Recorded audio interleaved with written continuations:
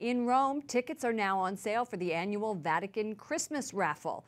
This is the fifth edition of the lottery, which coincides with the Christmas season. Money raised in the raffle will go to the Holy Father's charities. Juliet Lindley is EWTN News Nightly's Vatican correspondent. She joins us from Rome. Juliet, tell us more about this Christmas raffle. What are the prizes? Where do they come from?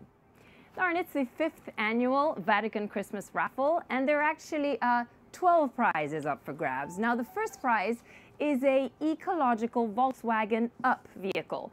And the second is an electric bike. So both very environmentally friendly prizes, which would be very much in the spirit of Laudato Si. Now, other prizes would include a artisanal music box, a coffee machine, a men's watch, a silver framed mirror, and even a ceramic picnic tea set. Can now, these are all prizes um, that have been donated to the Holy Father. Can anyone buy tickets? How much is the going price for, for these?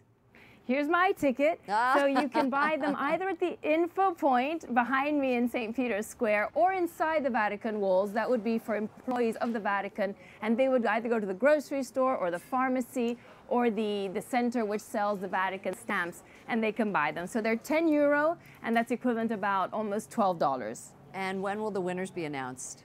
So actually, the winners will only be announced on the 2nd of February 2018. So we have another two months to go about buying these tickets and raising money for the charitable organizations of the Holy Father to whom the money will go.